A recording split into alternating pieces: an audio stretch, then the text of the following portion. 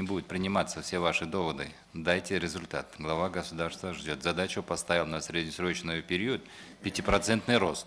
Вот по экспертной оценке, по тем отраслям и видам деятельности, из-за которых не вышли на целевые индикаторы, о чем сейчас говорили, дополнительно рост экономики мог бы стать еще выше на 0,55 процентных пункта.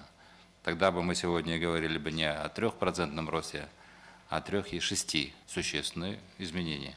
Поэтому у нас имеются резервы, над этим надо работать.